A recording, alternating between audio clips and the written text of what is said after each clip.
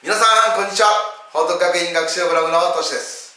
今日は中学1年生の数学、えー、一次方程式の文章題その中でも個数に関する問題を解説してみたいと思います、えー、一次方程式、えー、方程式計算はできるんだけれどどうも文章題になると、えどうも解けない苦手だという人のために、え細かく解説していきますのでどうぞ参考にしてください。では始めてみましょう。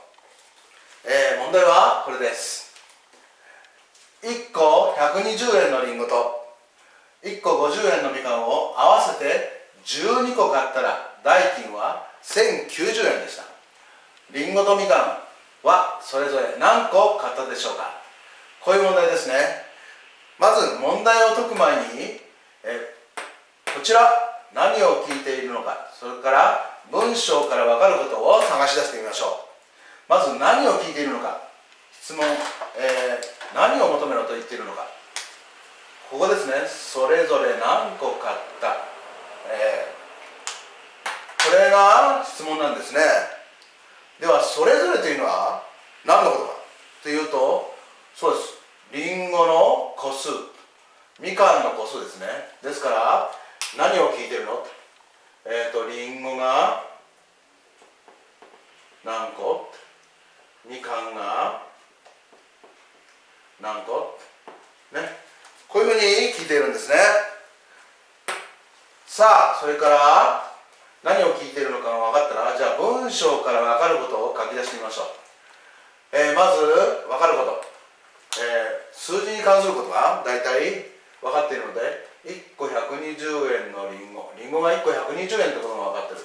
それから1個50円のみかん。みかん1個50円が分かってる。ねまずこれを書き出してみましょう。えっ、ー、とりんごが1個、えー、120円。みかんは。50円ですね。50円です。まずこれが分かりますね。50円ですね。それから合わせて12個買った。合わせて12個買った。全部で12個買った。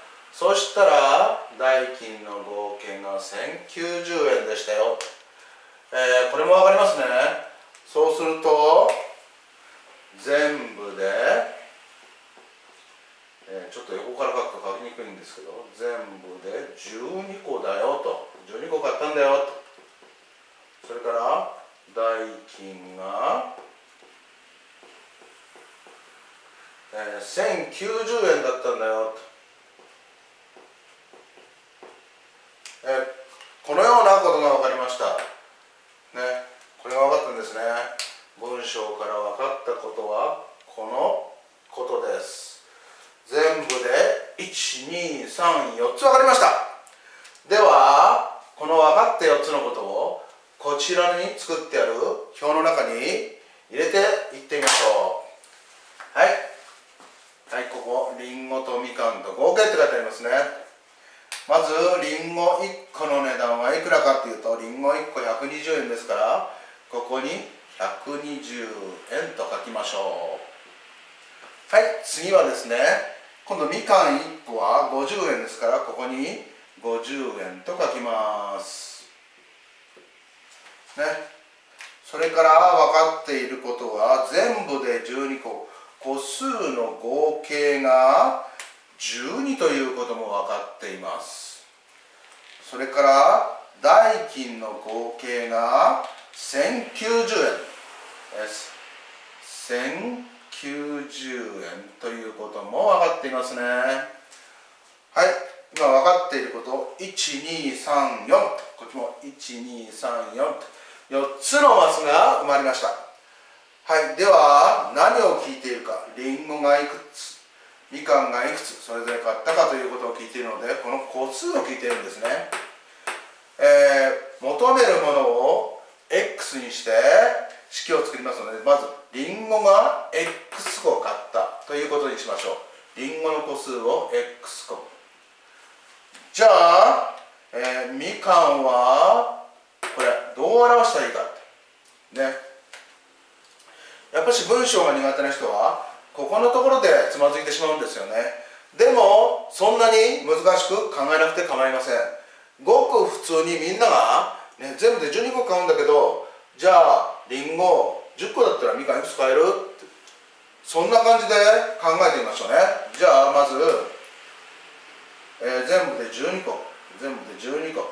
それからえー、っとりんごをいくつ買うかみかんをいくつ買うかというのを、えー、簡単な、えー、こんな表を作ってまずりんごがこれ全部だから全部書きましょうか。りんごがもし10個だったらみかんはいくつですか？え簡単だよ。2だよねわかりますよねじゃあこの2ってどこから出てきたんですか？どんな式から出たんですかって。えだって全部で12個で10個だったら2だよねって。でもここでちょっと一回式を考えてください。この2全部の中からリンゴの個数を引いたんですね。つまり12から10を引いて2になったんですよという。こういうことですね。ここの式のところとても大事です。文字式ではここのところを考えるんですね。じゃあまず10個だったら、えー、こんな式ですね。じゃあもし8個だったらね式どうなると思いますか？そうです。全部の個数からリンゴの個数を引いてあげればいいんですね。ですから12引く84個ですよみかんは。さあこの下いよいよ文字が入ります。リンゴを X 個にしましたね。X ですよリンゴ X ですよ。ではこれ全部の個数からリンゴの個数を引いてますね。全部の個数からリンゴの個数8個だったら8個引きます。だからここも全部の個数からリンゴを X 個買ったので X 個引いてあげればこれがみかんの個数を表してるんですね。これがこのまま 12-x がそのまま計算できないのでね文字式計算これ以上できないのでみかんの個数は 12-x こういうふうに表す。ということが分かります。ですからここには 12-x という式が入ります。さあこれをもとにしてりんご全部の代金みかん全部の代金を、えー、考えてみます、えー、代金は1個の値段かける個数ですね。ですからりんごは120円が X 個。だったら 120x 円。こんなふうになる。ではみかんは50円。ね。で個数が 12-x 個50円と個数をかけるんですけどこの 12-x というのは必ず括弧の中に入れる、ね、これ全体の個数を表しているので括弧の中に入れる、ね、50括弧 12-x となる。この括弧を忘れちゃう人多いんで括弧忘れないようにしてください。ね、では代金みかんの代金とりんごの代金合計したら1090円ですよ。という式が作れそうですね。これ作れそうですね。ですからじゃあここの部分をもとにして方程式を作ってみます。いきます。え 120x りんごの代金ですね。とみかんの50括弧 12-x 合計したら1090円ですよ。はいこんな式が出来上がりました。さあ式ができたらあとは今まで学習したように方程式を解きます。まず括弧を外しますね。120x 足す。50×12 は600 50x は1090こうなります。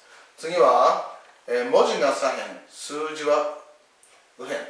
というふうになりますからまずじゃあ 120x-50x はそのままで、え符号を変えて移動する。移行するんですね。1090-600そうすると 70x が、えー、490x は7という数字が出てきました。ねここ7という数字出ましたね。7という数字は何かというと x x はリンゴですね。ここでリンゴが7個って分かったわけです、えー、リンゴが7個だったらみかんは全部で12個から7個引いてあげます。12-7ね。12-7をやってあげてリンゴが5個ということが分かりますね。あリンゴ間違えました。12-7なのでみかんが5個ということが分かりましたね。ですから答えの欄にはね。りんごこれは7個でした。7個。そしてみかん。ちょっと書けないですか？らちょっと詰まっちゃいますけど5個と。こんなふうに書いてください。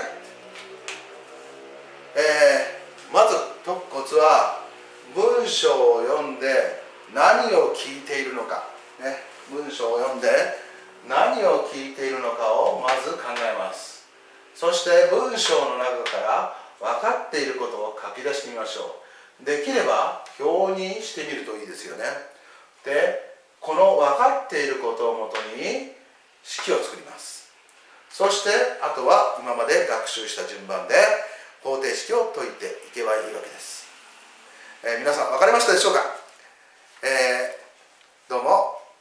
今日も見ていただいてありがとうございました。ではまたお会いしましょう。さようなら。